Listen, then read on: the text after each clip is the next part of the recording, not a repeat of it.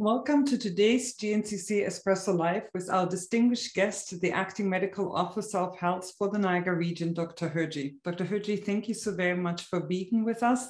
And to all of our participants, glad that you are able to join us this morning. My name is Mishka Balsom, and I will be your moderator for the next hour. While organizations and governments are responding to the ever-changing pandemic impact, business at the same time have questions. And we're privileged to have Dr. Hirji agree to join GNCC's Espresso Live on a monthly basis, especially in these critical times. Earlier this week, the federal government advised Canadians against international and non-essential travel. During the same announcement, we learned that the Public Health Agency of Canada will ramp up the mandatory arrival testing program at airports. On that same day, the provincial government announced that it's rapidly accelerating its booster dose rollout by expanding eligibility to individuals aged 18 and over and starting the program as early as Monday. In addition, it introduced 50% of capacity limits on many venues and facilities with a usual capacity of 1,000 or more. And as part of the enhanced testing strategy, the Ontario government announced making 2 million rapid antigen tests available across the province. The same week, a day prior to it, the province announced new measures at long-term care and retirement homes. And at the same time, we're looking at new modeling from the Ontario COVID-19 science table that warns that the province could see 10,000 cases a day or more in just days as the Omicron variant of the coronavirus takes over. These are just some of the headlines and news that we as a business community and we as individuals have faced over the last three or four days. With that in mind, I thank each and every one of you for being with us this morning to get actually a better understanding from Dr. Hirji on our current situation, especially here in Niagara, and what to expect and how to prepare for it. Often in advance of our espresso, you, our audience, provide us with questions. And this week, in light of all the announcements that have taken place this week, the, your questions have come in at a record high number, and we are committed to getting to all of them. For those of you who are new to the espresso format, what we normally do is that Dr. Hirji will give us an update for about 30 minutes, and then the last half hour of it, we'll be able to address all of your questions that you have. If you wish to enable live transcript, please refer to the bottom of your Zoom screen for that option. And on that note, uh, I'm going to pass this webinar for the next half hour over to Dr. Hirji or however long your uptake will take. Thank you for being with us. Hey, thank you so much, Mishka. And I think you've uh, laid out the unfortunate situation that we are in right now, where things are all of a sudden looking, unfortunately, much worse than we hoped they would be.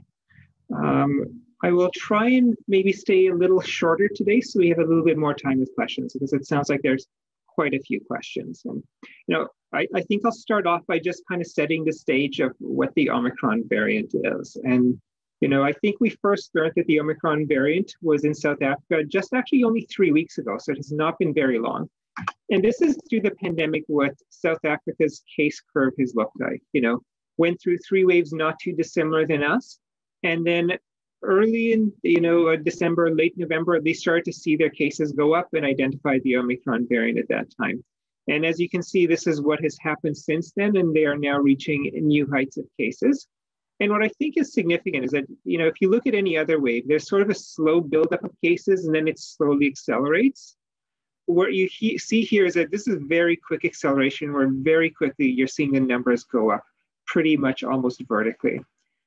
We take a look at some of our, you know, European neighbors who've also been affected by the Omicron variant. This is Norway, and you can see similarly, they, saw, they were actually seeing their cases go up for a while, but it has actually started to become a bit steeper. You can almost make out here where the angle has changed and it's become a little bit steeper.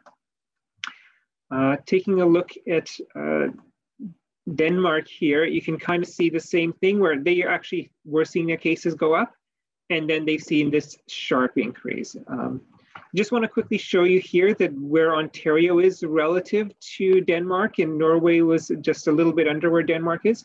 So we have actually done a lot better here in Ontario than some of the European countries, which hopefully will set us up a little bit better to manage the coming wave. And then I just want to highlight here the Kingston, Frontenac, Lennox, and Addington area of Ontario. This is the area that was first hit with the Omicron variant here in Ontario. And you can kind of see a similar pattern here where, you know, they've had previous waves, but now they're seeing this very sharp increase in cases due to the Omicron variant. And I think, unfortunately, that seems to be the nature of this variant, that it spreads very, very quickly. And so once it takes hold, you start to see these really astronomical increases in cases. Here in Niagara, you've probably noticed that our cases have been going up lately. And, you know, I think you can kind of see that there's the increase and then it's sharpened. And that almost certainly is, we are starting to see the spread of the Omicron variant here as well. Uh, and if you take a look at the Ontario case curve, very similar, you're starting to see that sharp uptake for them as well. Now, I don't know if people were paying attention to what Ontario announced only just about 30 minutes ago in terms of their case number. So a couple days ago, there were about a 1,600 or 1,800 cases. Yesterday, they jumped up to 2,400 cases. And then today, they're actually at 3,100 cases. So that can give you a sense of how quickly it's rising. What I show you here is actually an average number over the course of seven days, which smooths out the line and gives you a bit of a cleaner pattern. But that also means this point here is an average of the past seven days rather than showing exactly what happened today. And so I just want to quickly show you, uh, you know, how steep this line is. So if we take a look at our third wave there, that's how steep that increase was. If I draw that same line here, you can kind of see that the increase now is deviating from that red line and it's going to be steeper. And if I, you know, take out the averaging of cases to just show exactly what the number was every day, you can even get a better sense of how much over the last few days the cases have started to increase here. This is some data put out by the science table where they actually break out the Omicron variant cases versus all of the other cases that aren't the Omicron variant, largely uh, Delta variant. And you can kind of see the pattern of Omicron variant which is of course superimposed on what we're seeing with our other cases. And you know, you can see here that we are up to 80 cases per million with the Omicron variant, and this was a couple of days ago, which is actually already higher than what we are seeing for the Delta variant. And so the Omicron variant has very quickly become the majority of cases in the province. And increasingly, that's going to mean that the pattern we're seeing here is going to dominate over the pattern that we're seeing with the Delta variant.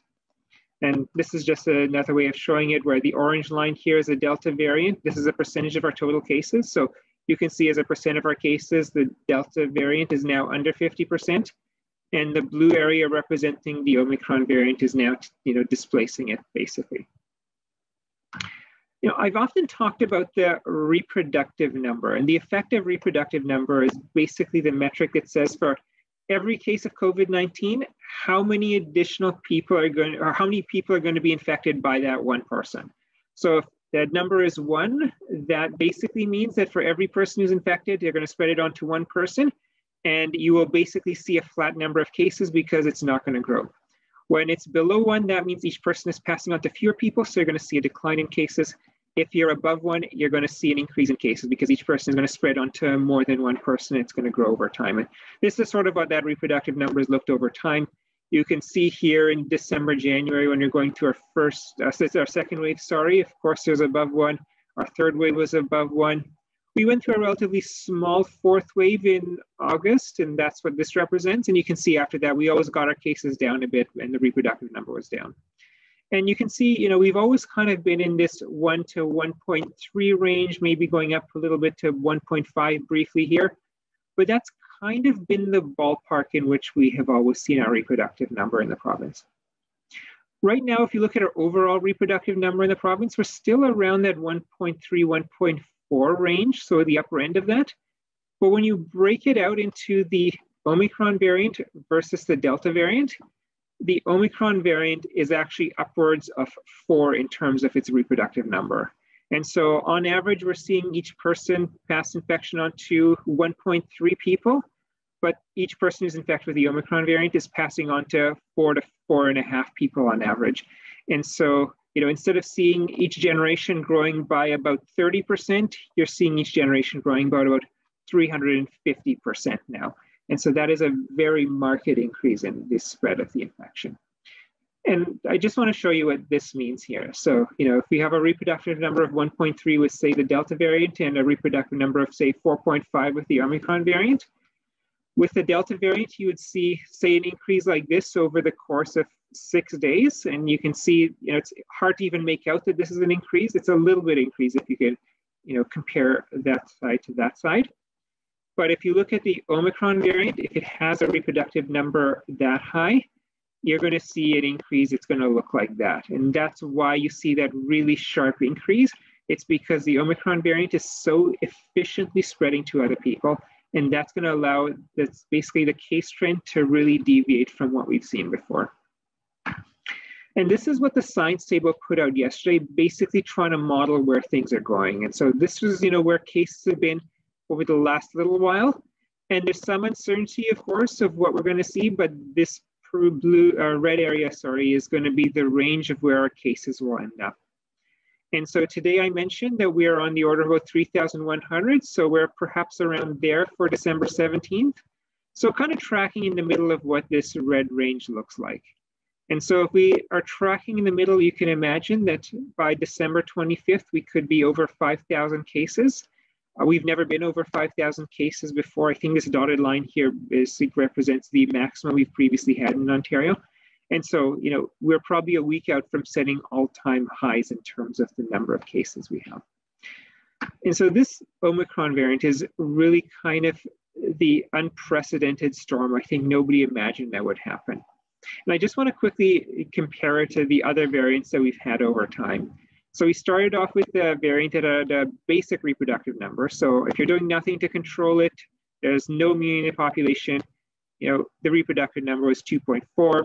We probably had a pretty good vaccine efficacy at that time, which meant that, you know, we didn't have to get too many people vaccinated to get to herd immunity, which would have wiped out the virus. Uh, and a variant emerged last March as the virus was spreading through Europe, and that's actually what we got here in Canada, which is a little bit more difficult to control. We, of course, had the alpha variant at the start of this year, which spread a little bit more easily, but our vaccine remained you know, pretty effective against it. The delta variant, even more difficult to control, but we continue to have a good vaccine to prevent it. What we see with the Omicron variant is that you have this massive change now, and that basic reproductive number is probably on the upwards of over 20. It's you know not just an incremental increase; it's you know three times more infectious. And unfortunately, it has come with our vaccine also becoming less effective as a result. Now, I'll talk a little bit later that actually with the booster dose, this starts to actually get it back up to you know the kinds of numbers we saw with the Delta variant. But this is, I think, the other big challenge that we're facing with this variant. And because the vaccine isn't as effective and because it spreads so easily, the herd immunity is really not even theoretically possible, though I think we were already at a stage where practically we were not going to get to herd immunity. Now, I think an important thing to realize is that we're talking here about how high cases are going to go. Ultimately, what matters is going to be how many people are going to be severely ill. I think we've had a strategy in Ontario where we've tried to keep cases down. You keep cases down, the percentage of people who are going to be severely ill is going to stay down. That's not going to be a large number as a result. And therefore, we're not going to see a lot of people becoming severely ill. And I think we're probably headed into a strategy where that is no longer going to work. We're not going to be able to control the cases given how quickly the Omicron variant spreads. And so it's going to be really important now that we find a way to limit the severe illness that we are going to see going forward. Now, you know, just stepping back, I showed you this graph that you know, the Omicron variant is going to, you know, rapidly rise in terms of its cases. And the Delta variant, of course, is going to not rise as much. So the Omicron variant is going to lead to a much higher growth of cases. If we assume that the Delta variant and the Omicron variant are going to be equally severe, you can imagine that you're going to end up with kind of a similar pattern here, where this is how hospitalizations would rise with the Delta variant, and this is how high hospitalizations would rise with the Omicron variant, assuming this was equally severe to the Delta variant. There is some talk that maybe the Omicron variant isn't as severe. Maybe it's only about 75% as severe. But given how much more infectious the Omicron variant is, even with that reduction in severity, we would still see an increase in hospitalizations. Yeah, we would start out maybe being a little bit lower, but very quickly, just given how high cases are, it is going to catch up in terms of the hospitalizations, and we're going to see that increase maybe not as much as we would quickly as you'd see it increase if the Omicron variant is equally as severe as the Delta variant, but it's still going to rise. And I think if we take, you know, an even, you know, unrealistic scenario here, then, uh, you know, this is just spreading this out over a couple weeks now. And if we take, let's say, an unrealistic scenario where, let's say the Omicron variant turns out to be super mild, it's only about 10% as severe as the Delta variant. Over the course of two weeks, you might have seen hospitalizations increase like this with the Delta variant. Hospitalizations with the Omicron variant would increase like this. So yeah, we would start off with, you know, uh, far fewer hospitalizations for a period of time.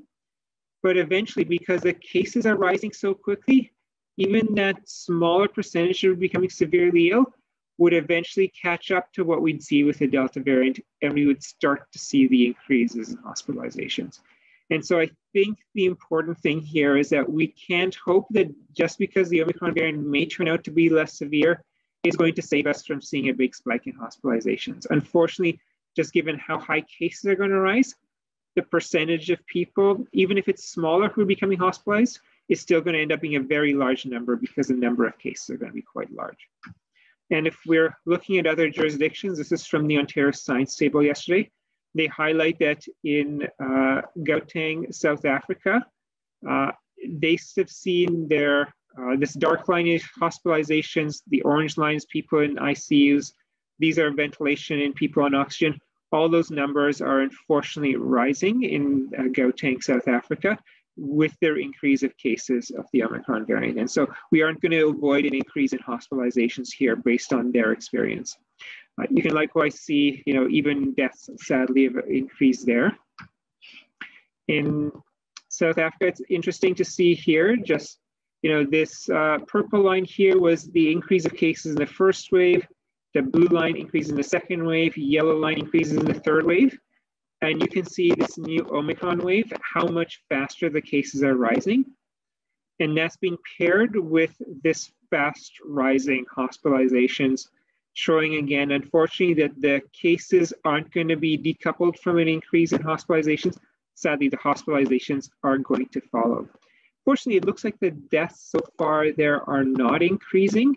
And so perhaps there is some, you know, luck we may have there. Perhaps it turns out to be still causing the hospitalizations, but perhaps ultimately less deadly. This is data in Denmark showing again that as their cases have gone up, which is the orange line, they are seeing their hospital occupancy going up. And if they're looking at hospitalizations by Omicron variant to the Delta variant and other strains, unfortunately, it's you know in a similar ballpark. And so the Ontario Science Table is sort of modeling this as what they can expect. This red area is where ICU admissions are going to go up. And if we are tracking in sort of the middle for cases where maybe you're going to be in the middle for hospitalizations. So looking at getting into the three to 400 people in ICU beds by the end of the month. Um, even if it's less severe, they show uh, here you'll probably be, you know, say if you take the middle of the pack, three to 350 people in the ICU beds by the end of the month. If we take a look at what we've seen this far in the pandemic, so this orange line here is what ICU beds have done. We peaked in the sort of 800, 900, I think, ICU beds in the third wave. We're fortunately down close to about 150 now. So that we could see increasing to three to 400 by the end of the month and unfortunately still be on upwards table. But we've managed to absorb 900 uh, ICU beds in the past. So this does give us some hope that because we have kept our cases low in Ontario for the most part, we've kept our ICU beds uh, relatively free.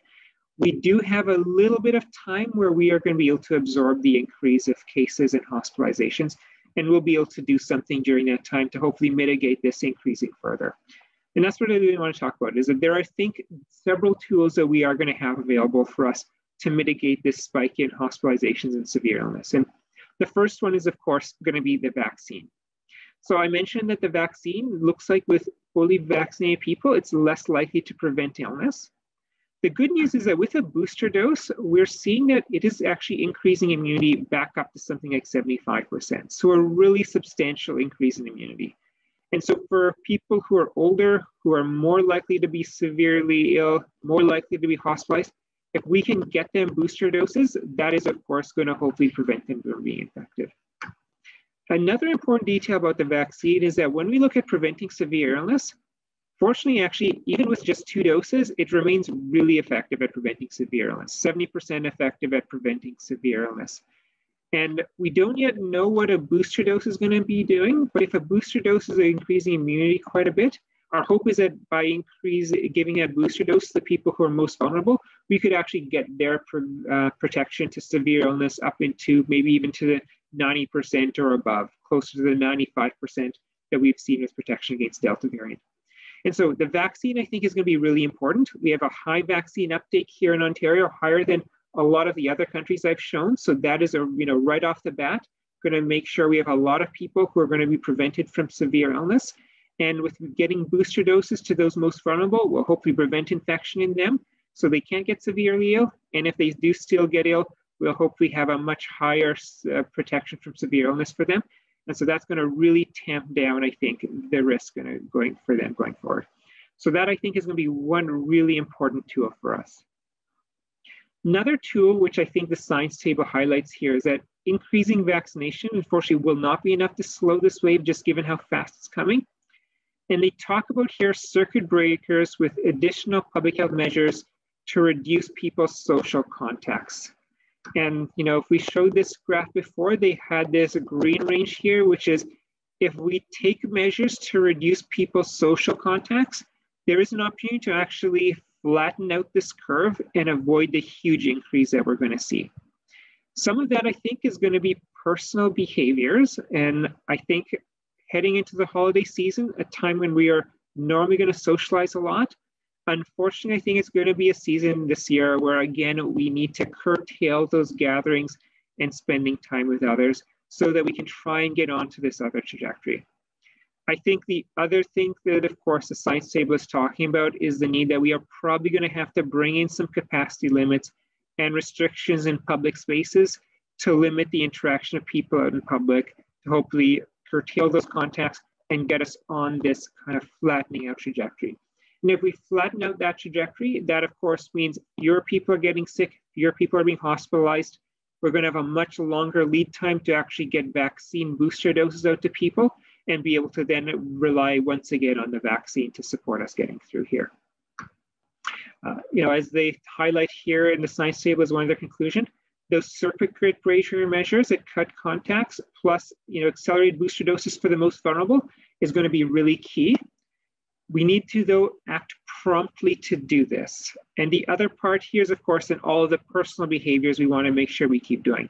Wearing high quality masks that fit us well so air can't escape from them or get into them around them. We want to make sure we continue to have physical distance, avoid places where there's crowds, increase ventilation, and you know start using rapid tests more. And I you know suggest that even with you know rapid tests now becoming freely available to the public, something that we will be able to do is use those maybe if we do have a holiday gathering to test everybody before they come and make sure that we're not actually seeing someone infected hopefully coming into those gatherings. And you know all of these measures are going to be imperfect but i think if we do all of them we are going to be able to slow and actually prevent a huge wave of the omicron variant similar to what other countries have seen you know, avoiding large gatherings, continue to have physical distance, staying outdoors or keeping our indoor spaces well ventilated, wearing masks indoors, making sure we have that vaccine and the booster dose. You know, this is kind of what's called the Swiss cheese model, where you recognize that there are holes in each one of these. None of these is perfect. But when you add all of them together, that actually means that the holes aren't necessarily going to align. And together, you're actually going to be able to protect yourself. And adding on to these, you know, one other big tool we have is we're now seeing new medications come out that can treat COVID 19. So the people who do get severely ill, who are unfortunately hospitalized, they're going to have a much higher risk uh, uh, chance of survival thanks to these medications. And even vulnerable people who get sick with COVID 19 will be able to treat them with these medications and prevent them from becoming hospitalized.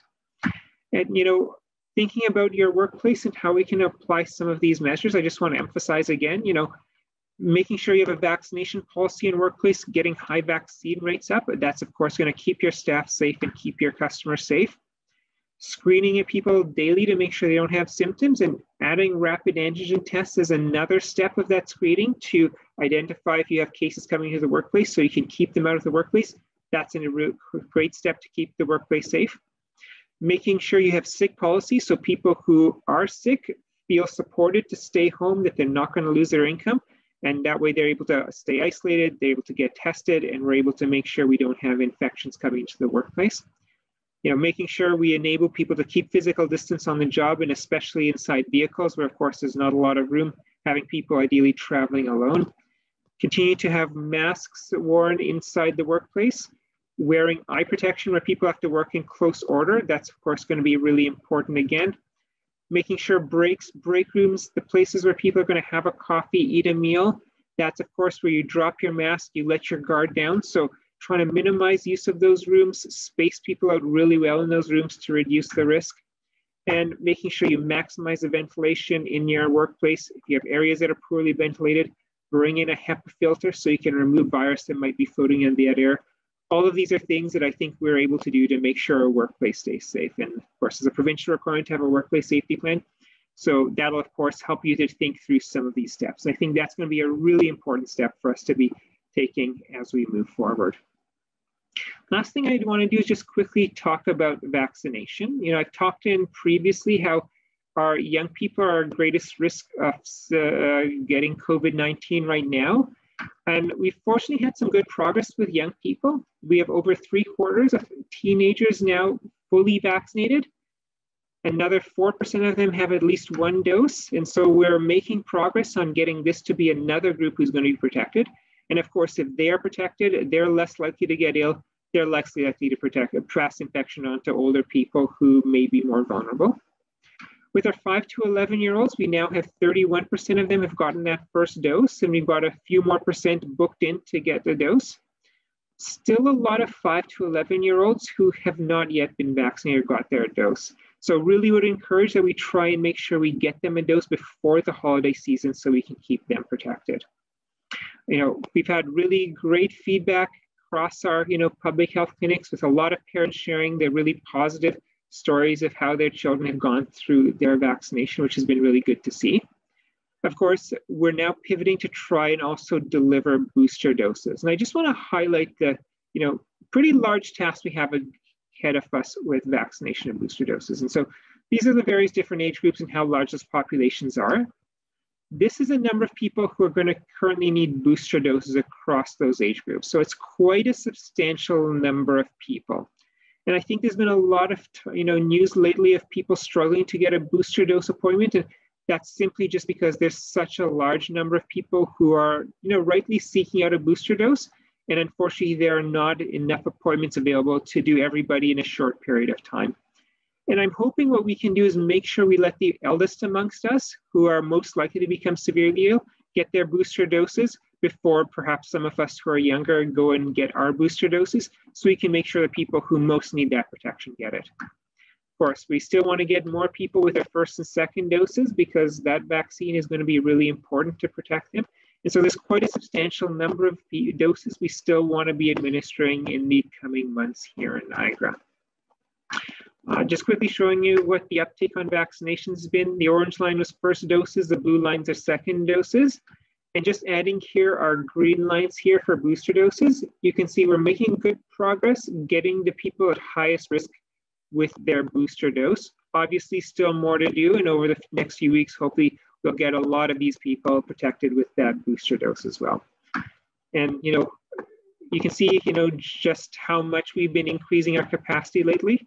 You know, if you look over the last several months, we've been sort of between 1,000, you know, 2,000 doses a day actually dropping below 1,000 doses for a bit. And you can see over the last couple weeks, we've really been ramping up to get more booster doses out to people. And over the last couple days, actually been just under 4,000. This is actually yesterday's data. I haven't added in today's, uh, the data we released today, but that again was around 4,000 doses.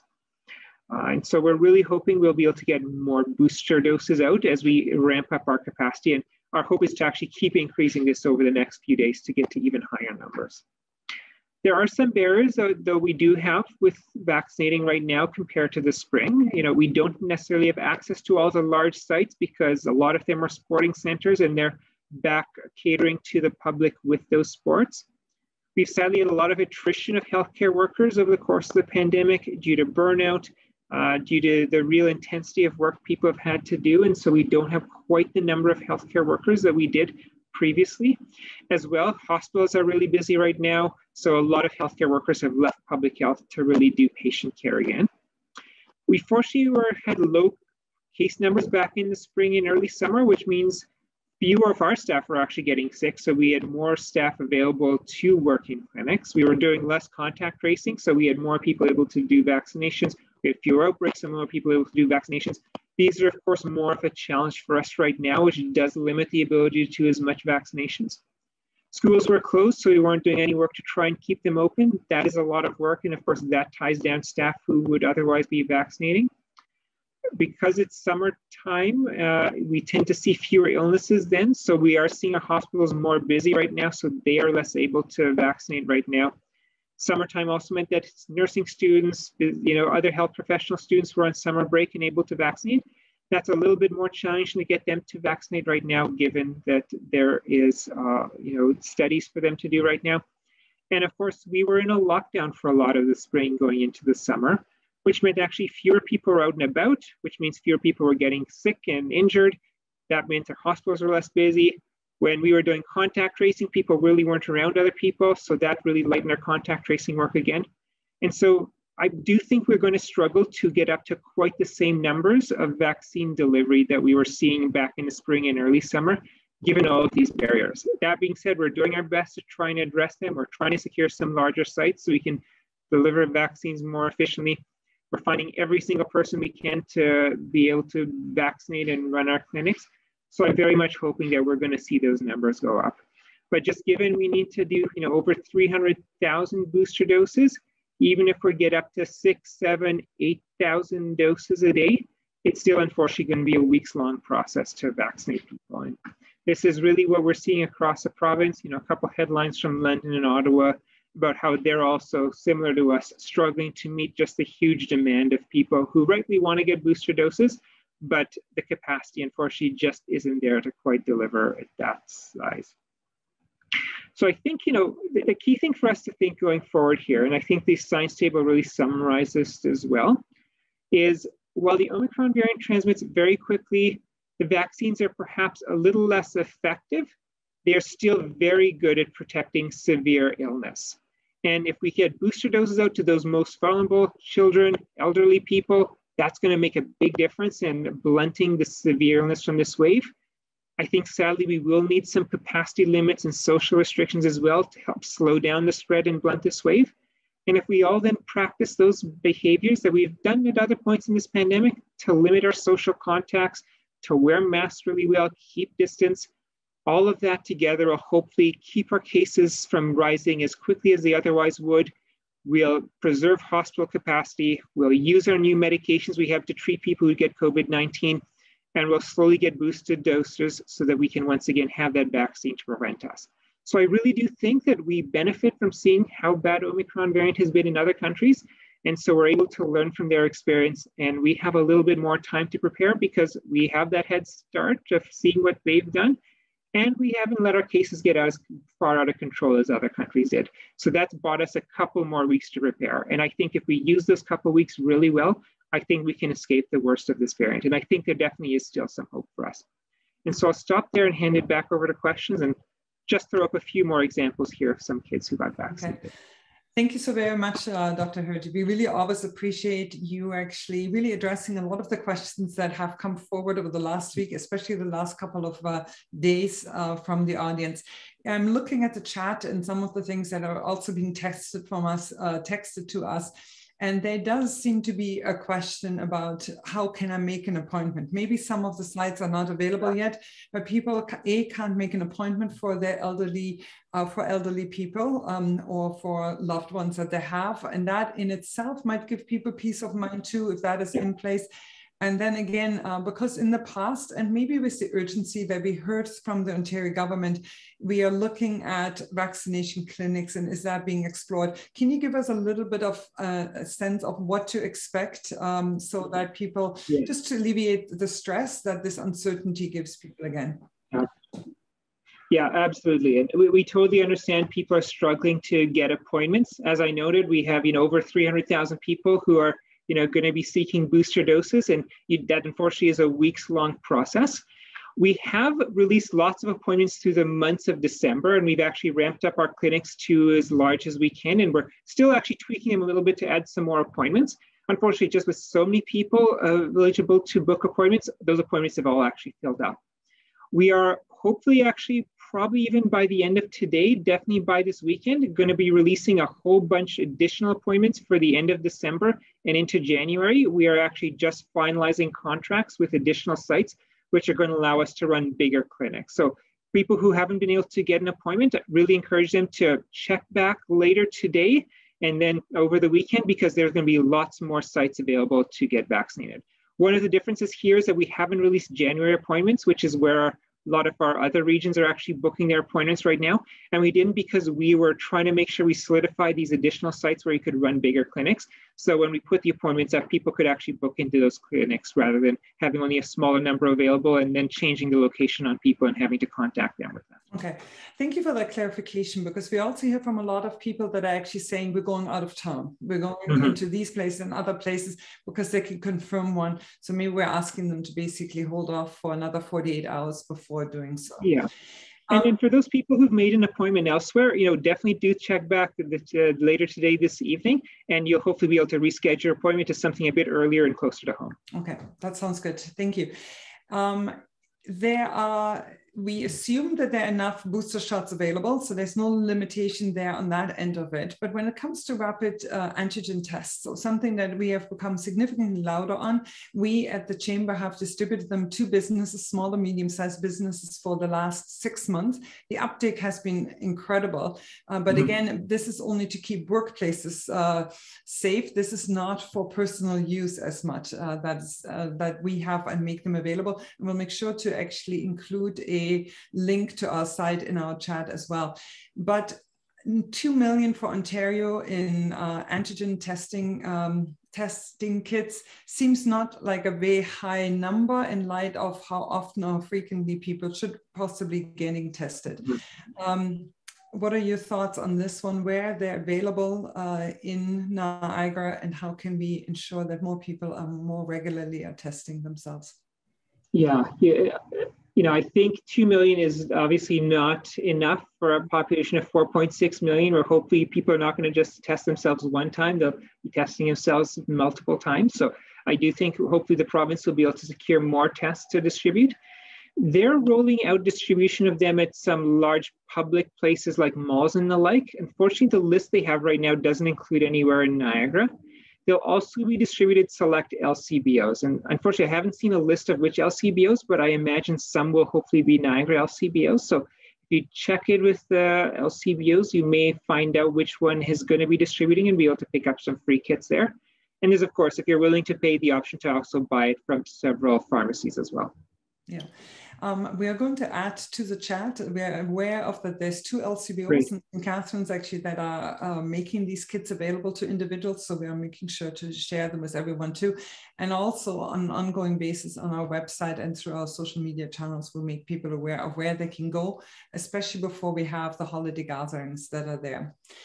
We are talking about uh, additional measures. Give us your take on has have we gone far enough, or are we going to see that either the province or Niagara is going to impose stricter measures to keep people safe? And this is always something that has been critically important to businesses because these measures impact them and their staff uh, and their operations significantly.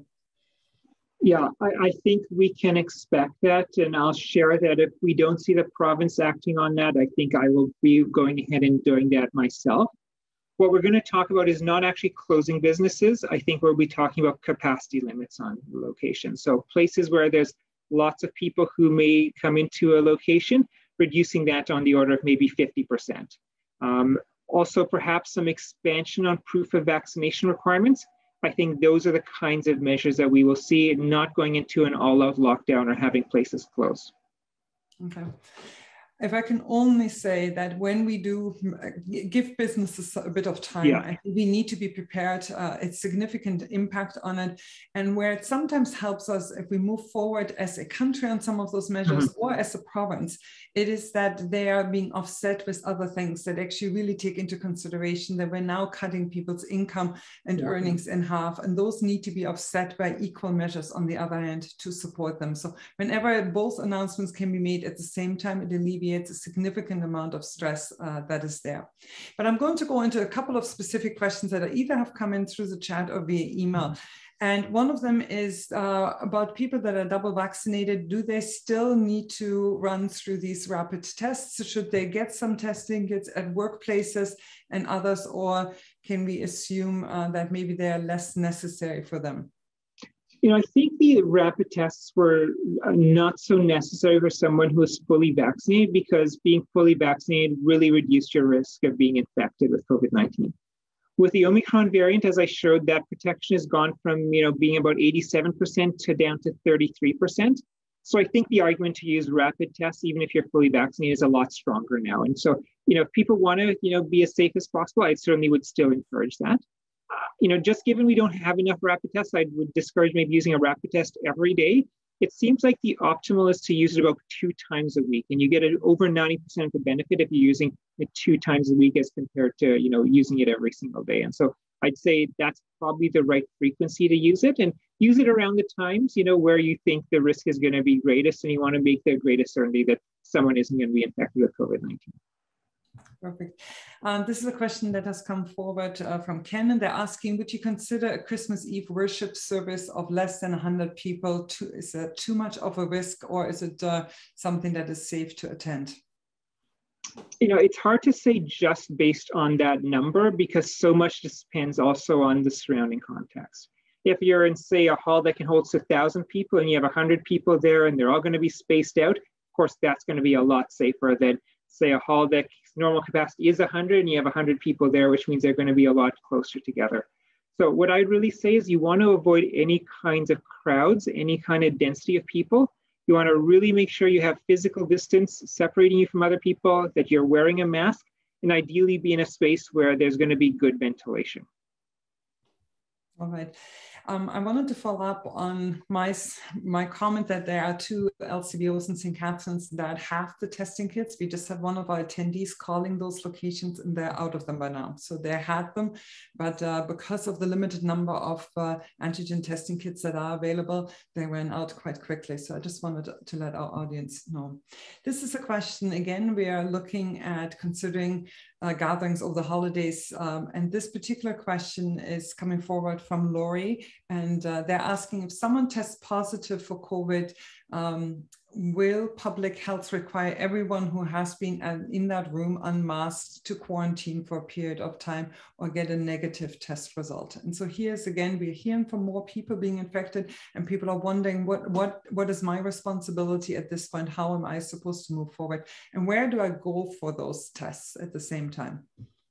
Yeah, so it would depend a little bit on the timing, but assuming a person tested positive within a couple of days of that gathering, yeah, everybody who is at that gathering would need to isolate for a period of time.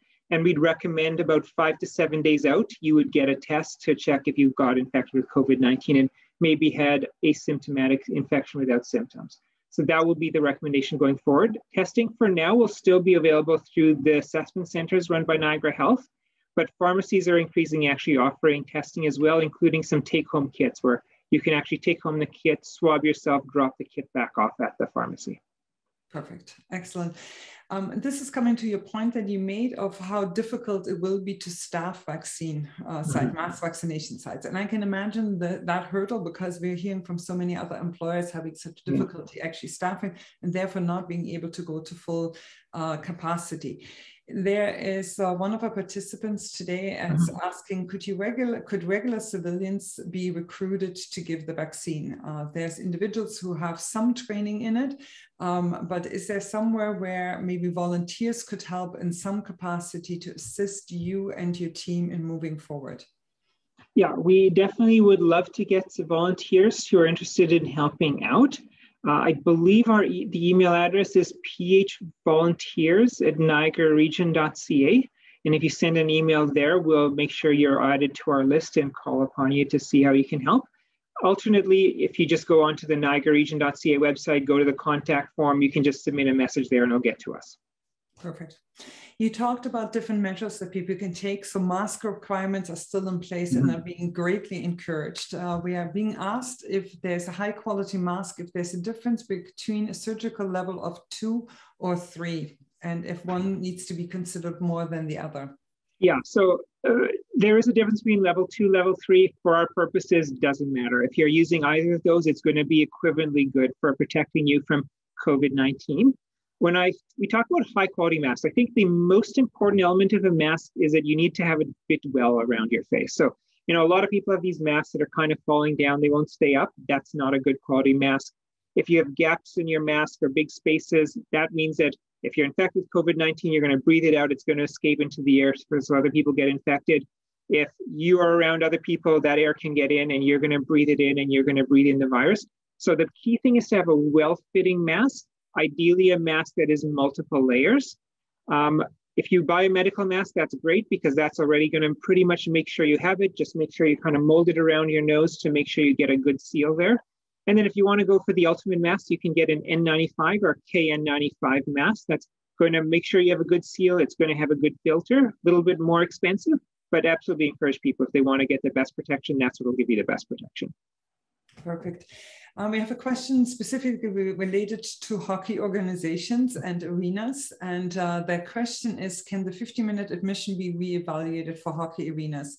Um, as uh, OMHA has made vaccinations mandatory for all players and volunteers, and 15 minutes is a safety and health issue with waiting in line to get in. Uh, some of them are also um, concerned that these kids have all of the equipment with them in some cases no winter protection that is there and uh, it leaves them a little bit more exposed. But um, maybe this question also i have to admit came forward about a week ago and i mm-hmm. think we are our minds and uh, focus is slightly shifting but i think it's still good to look at what is in place and do we need to keep it in place.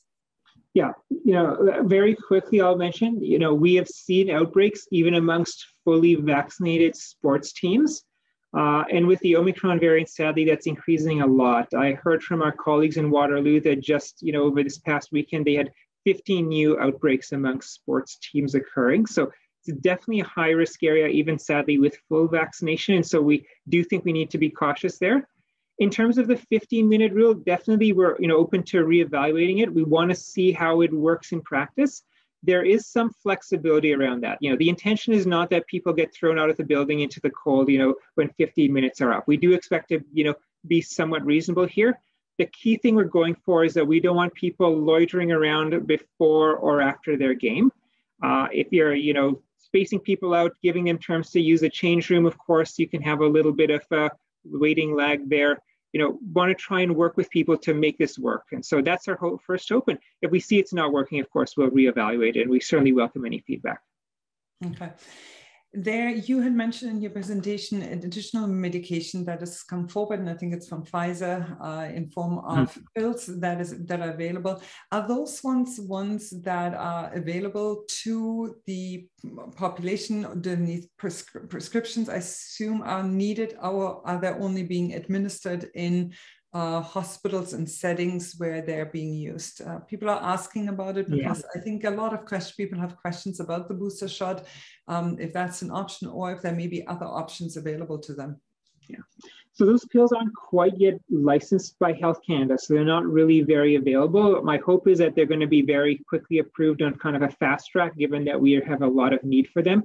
I know in the UK, for example, they're already approved and starting to be used once they're out, I think they will be prescription based likely. So, you know, primary care provider could prescribe them, hospitals could prescribe them. That's probably going to be the avenue we get them. Yeah, excellent. And I think it's good for people to know of what actually it might look like moving forward.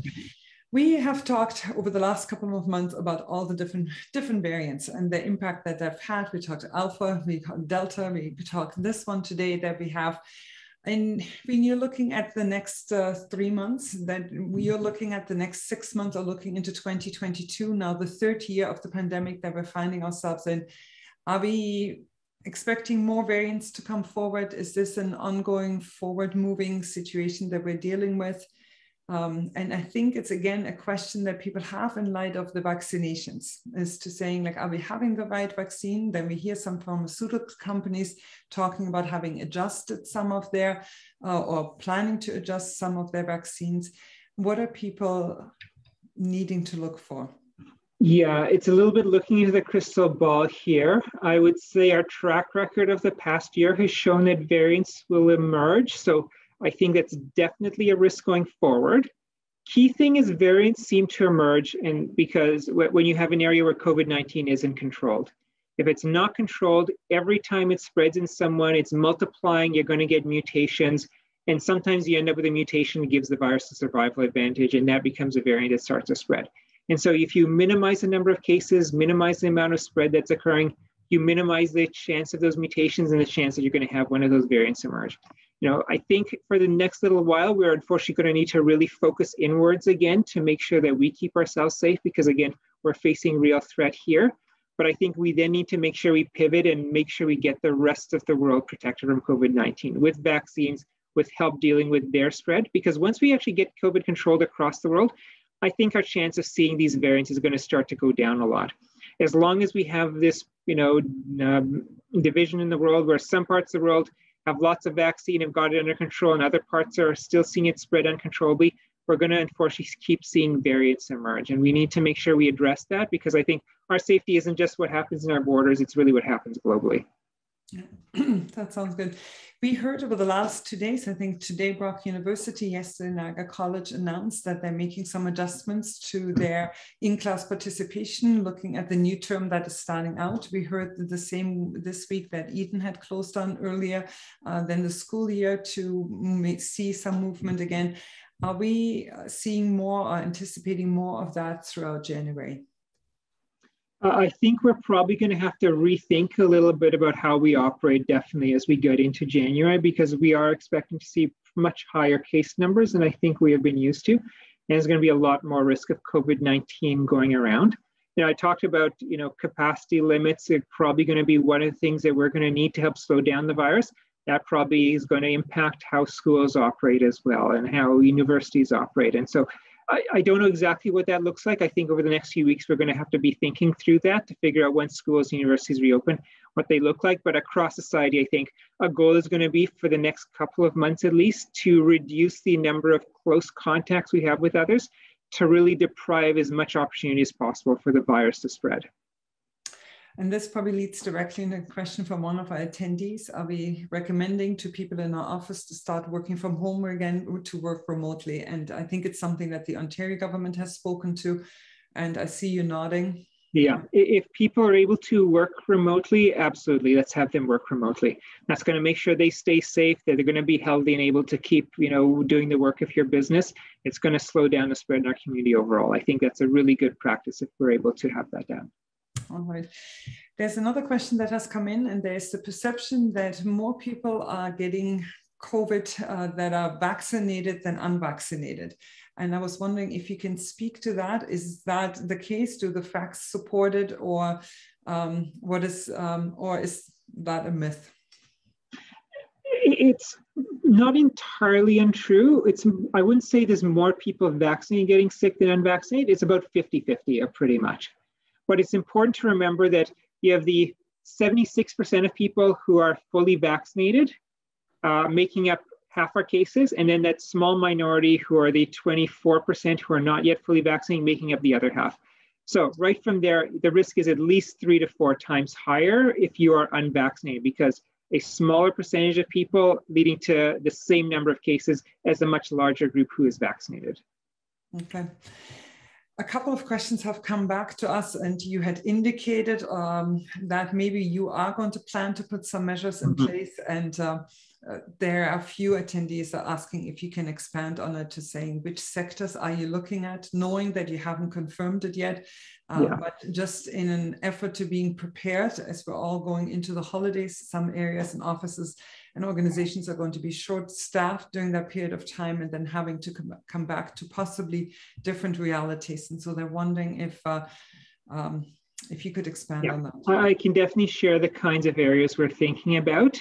You know, I'll say our hope is that the province acts because the Omicron variant is not a local issue. It is a provincial issue. We need rules across the province, and it would make the most sense that we have consistent rule across the province rather than 34 different rules set by every local public health agency. Uh, and then to the extent if the province doesn't act and we act alone, we are consulting with our neighboring health units to hopefully at least have some regional coordination to get consistency. Kinds of places we're looking at are the places where you're going to see people really congregating together. So meeting event spaces, unfortunately restaurants, bars, food, drink establishments, uh, sports, recreational facilities, concert venues, theaters, cinemas, attractions like movies, uh, museums, sorry, galleries, that kind of thing, casinos, bingo halls, gaming. Perhaps less of a concern right now, but fairs, rural exhibitions, festivals, even places like personal care services, hair, nail salon, tattoo salons, less congregating there, but definitely, you know, there's very close interaction between the provider and the clients there. Goal again is not to close any of these places, but it will be probably to reduce the capacity down to 50% so we can have more physical distance between people and we can reduce the amount of spread of infection that occurs. Mm-hmm. Can we ask you um, that if you're looking at it, you're saying you're consulting with your colleagues in other health yeah. regions across, is there a sense that the Ontario government will put this forward, or is there a sense that actually it has to be driven by individual health units? And the reason people are asking is that when the government puts it forward, there's often that secondary aspect of it, understanding here are the other ways that we're supporting you moving forward. Yeah. And they have seen it in rent subsidies, wage subsidies, loan loans that are available to those vulnerable ones because this these decisions are significant. Mm-hmm. because when you look they're significant to any business and so that's the question that has come forward. Are we looking yeah, at it? I, I 100% understand and you know th- this is partly why we don't want to go down the road of a lockdown because we know how devastating that would be after you know some very difficult 21 months our real hope is that the province will act, and we are messaging to the province that we are going to act locally if they don't, to hopefully give them some pressure to hopefully act so it's done in a coordinated way by the province and that we get those additional supports that you've talked about. Um, you know, we had hoped that this would happen earlier in the week by the province. You know, the science table briefed the province earlier in the week than we heard it publicly. And that didn't seem to unfortunately motivate them to really put those measures in place. So we're not really sure what's going to happen going forward. And so hence why we are talking locally that we feel we might need to act. Certainly hope it is a province that acts and does give you all those additional supports that I think are very much warranted. Yeah, thank you very much. And uh, yeah, it does make a, a significant difference to business. Yep. It's already difficult to deal with, um, but it needs to be a balanced approach of it. I'm conscious of the time, but I'm also conscious that at the same time, um, we are a border community. We are um, we are looking at the travel restrictions that are there. Do you want to speak to that point as well in elements that maybe we need to do, we can do to ensure the, the health and safety of our community? Yeah, you know what I'd say is that we look at the US, they have done a much worse job controlling COVID 19. Cases are far higher there. And I think they don't have a good handle even of what is spreading there. And they probably have a lot of the Omicron variant spreading there. We, you know, travel around the world. I showed you countries, Norway, Denmark, South Africa, much higher rates of the Omicron variant than us, the UK similar. I really think that we are going to be probably better placed in most countries going into this wave. And if we travel elsewhere, we are putting ourselves at risk of the Omicron variant. So any non-essential travel would really recommend people don't partake in. Crossing the border to do shopping, you know, that's not the kind of thing that I think makes a lot of sense right now, just given all of the risk. I understand some people do have to work across the border. Some people work in really critical industries across the border. Of course, we're not telling people to forego their income, but make sure when you do cross the border, you take every precaution. Wear your mask, unlike perhaps what maybe other people around there are doing. Keep your physical distance. Um, and make sure you really just go to work and come straight home. Don't go shopping, do some of those other things that are going to be higher risk. Perfect.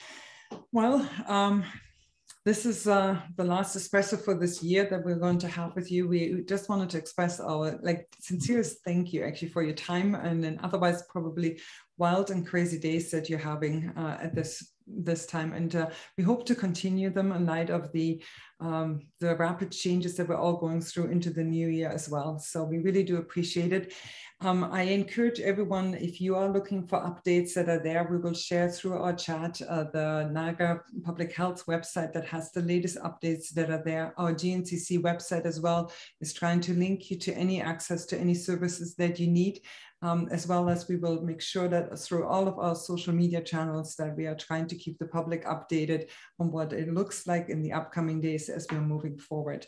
So Dr. Hirji, thank you from all of us, my colleagues, our board, our members the community, our business community for the time that you have given us.